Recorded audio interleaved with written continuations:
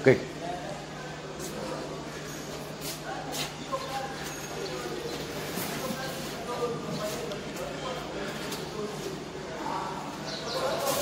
So this is un unpacking the, the, the Beacon Common Rail test bench.